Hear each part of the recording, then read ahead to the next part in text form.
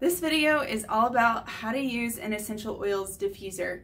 So if that's what you're looking for, you're in the right place. I'm Rachel Jane. This is my oils channel and I cover all kinds of things related to essential oils. So definitely hit subscribe and follow along if you are looking for more information. Okay, so diffusing. As far as how to do it, it is so easy. It is not complicated. You can put a diffuser anywhere in your home.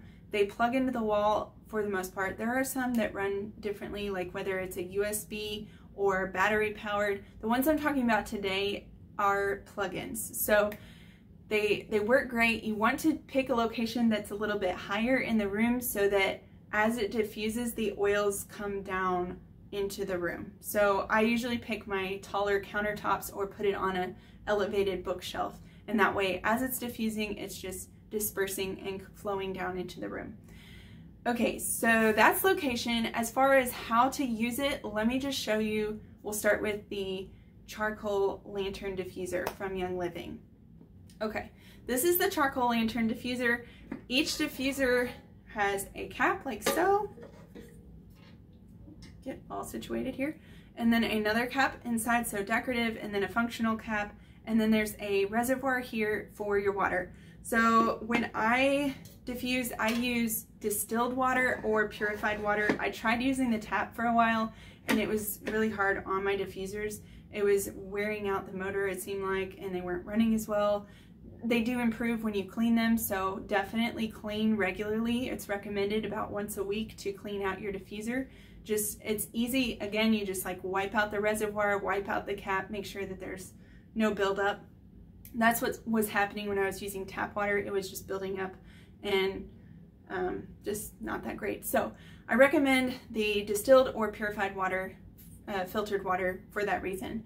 And then as far as oils go, you can use kind of however many drops that you want to use. I choose based on room size, intensity, and desired effect. So if I just want them to be really light, I will use less drops. If I want them to be really intense, I use more. You can kind of play with it as you go. So I, whenever I use a new oil, I start out with four or five drops and I increase that as I feel comfortable, as I feel like it needs. So if you use an oil and you're like, oh, that wasn't that intense, it didn't really do that much, then add a couple more drops. The most that I ever do is about 10 drops and that's, that's pretty intense. So you should not need that many starting out uh, with each oil.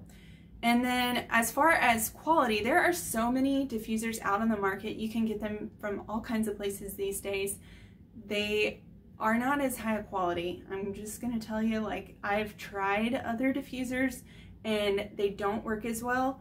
These diffusers have run amazingly for me. So if you are checking this out, you also might wanna check out the video on getting started with essential oils. I will link that in the description and you can see like the breakdown of the Young Living kit. They have a starter kit. It comes with a diffuser, which is amazing. So I got my first diffuser with my kit and then I ended up getting this one. It was a special from Young Living um, last fall or winter.